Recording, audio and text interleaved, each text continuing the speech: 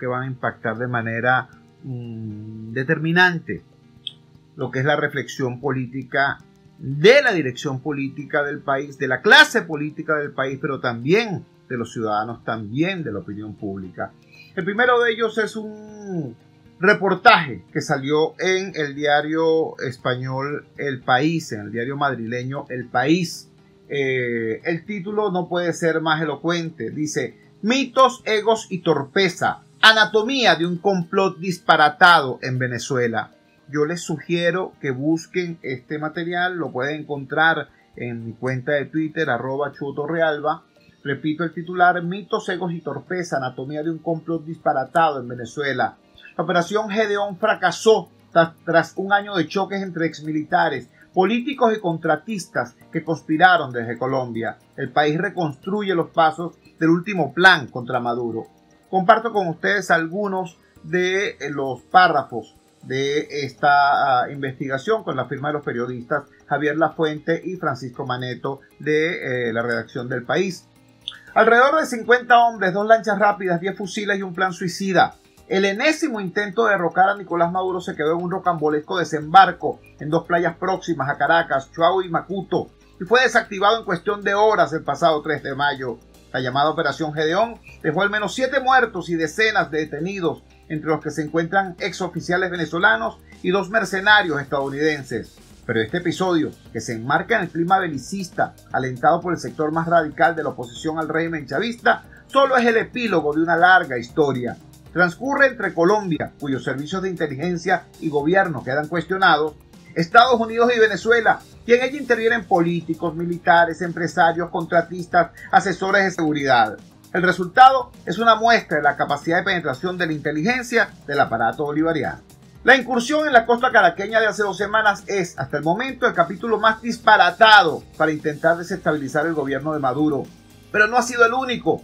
El relato de lo sucedido, reconstruido por el país gracias a los testimonios de una decena de fuentes conocedoras de los hechos, refleja el descontrol de una estrategia, consecuencia de una guerra de egos que en definitiva se ha convertido en un boomerang que ha aceptado un golpe a Juan Guaidó.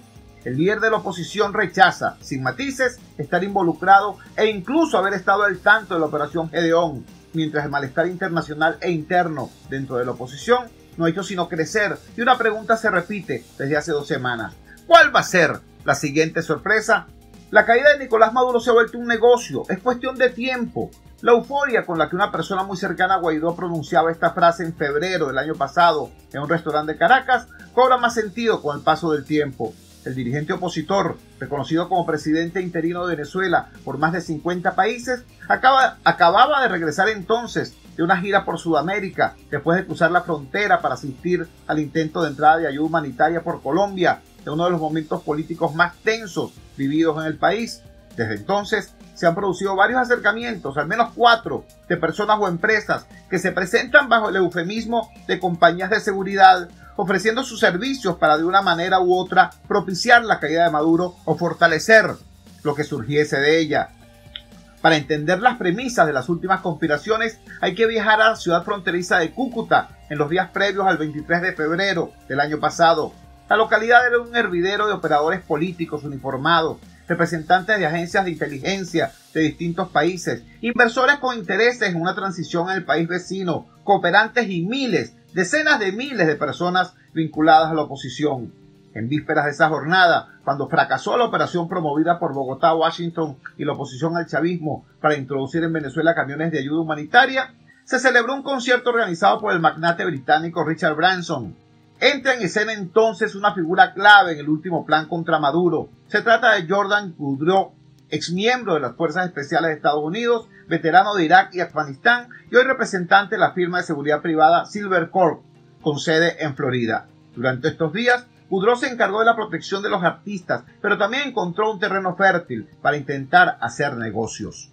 En ese momento Venezuela vivía días de turbulencias políticas después que en enero Guaidó se proclamara presidente del país y en las filas opositoras varios cargos vislumbraran la posibilidad de formar una especie de ejército particular para intentar una incursión.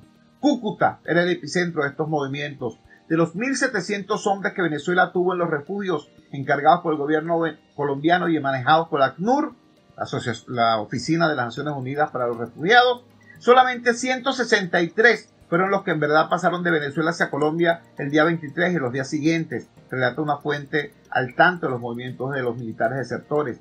El resto era personal militar, policial, bomberos que estaban dispersos en América e incluso algunos en Europa que fueron llegando sencillamente porque pensaban que se iba a organizar una operación.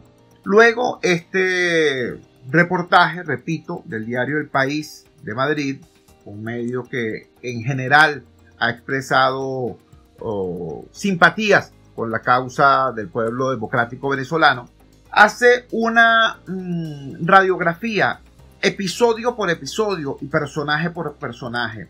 Y yo les pido que lo busquen por tres razones. En primer lugar, porque yo, como venezolano y como periodista, tengo que expresar mi indignación porque los habitantes de este país nos tengamos que enterar de lo que pasa en nuestro país por un medio extranjero. Porque CNN eh, lo diga o porque el país lo investigue. Esto tiene que ver, por supuesto, con la brutal censura impuesta por el régimen. Eso es verdad. Pero también tiene que ver en este caso específico con el blackout informativo que ha perpetrado un sector de la dirigencia opositora venezolana contra todos los venezolanos y en particular contra nosotros los opositores. Que haya pasado una semana sin que hayan dicho nada y que cuando dicen algo, sencillamente eso no sirva para nada, porque lo que estaban era balbuceando excusas. Cuando dicen, este, no, el eh, eso no existe, eso es un montaje, y resulta que, bueno, sí existió. No, que no tenemos nada que ver, y aparece un documento con las firmas de asesores y jefes de estrategia del gobierno interino. Ah, bueno, este, sí, bueno, ellos van a renunciar a sus cargos, pero los despiden prácticamente con una especie de eh, saludo y reconocimiento. ¿no? no como quien ha perpetrado una violación terrible de la estrategia opositora y ha colocado en ridículo a la oposición democrática venezolana, sino como que si fueran héroes. Entonces cuando ocurre todo eso, repito, dejan inerme a la sociedad democrática venezolana al no darnos información de calidad sobre qué pasó, cómo pasó, quién pagó a esos mercenarios. ¿Cuál era el plan si es que lo había? ¿En qué momento se desvinculó la dirección opositora o este sector de la elección opositora de esa locura, de esa aventura. ¿Quiénes fueron los responsables? No, nada de eso se dice. Y entonces nos dejan todos, a todos nosotros inermes, frente a la ofensiva brutal de la propaganda oficialista. Todos los días una cadena de Maduro, todos los días una cadena de Jorge Rodríguez, diciendo, diciendo, diciendo cosas, ¿no? Que muchísimas de ellas serán mentiras, por supuesto. Ah, pero no se puede contrastar esas mentiras o esa versión con una versión clara por parte de los yo no fui de la oposición. Entonces, ese tipo de cosas indigna. En segundo lugar, hay que establecer claramente la diferencia entre lo que es la oposición venezolana, la mayoritaria oposición democrática venezolana, con estos gestos de desesperación y de locura. Y en tercer lugar, hay que mirar hacia el presente y hacia el futuro promover en nuestro país una salida urgente a la crisis no puede ser sobre la base de estas novatadas, de estas irresponsabilidades. Tiene que ser sobre una forma diferente de tomar decisiones. Aquí no se trata de quitar a alguien y de poner a alguien. No, no se trata ni de quitar a Guaidó. Yo no estoy de acuerdo con quitar a Guaidó pero tampoco se trata de dejarlo ahí para que sigan ocurriendo sorpresitas como esta, o como la del 30 de abril, o como la del 23 de febrero. Hay que modificar la estructura de la dirección opositora en nuestro país. Su proceso de toma de decisiones tiene que dejar de ser una, una, una partida dominó entre cuatro jugadores. Es demasiado importante que la dirección opositora en nuestro país tenga un mínimo de institucionalidad tenga pesos y contrapesos, tenga controles internos y externos, para que, repito, no haya más nunca una sorpresita como el 3 de mayo, como el 30 de abril o como el 23 de febrero. Ese es el interés de todos los que deseamos salir de esta desgracia, pero además salir bien, salir para adelante, salir con sostenibilidad, con estabilidad, con gobernabilidad. Eso que al parecer no existe ni siquiera en esos espacios donde se toman decisiones. Repito entonces, el artículo, el reportaje del diario El País se llamó Mitos, Egos y Torpeza, Anatomía de un complot disparatado en Venezuela y lo puede encontrar, por supuesto, en las cuentas del diario El País de Madrid o lo puede encontrar en arroba en nuestra cuenta de Twitter. Vamos a la siguiente pausa.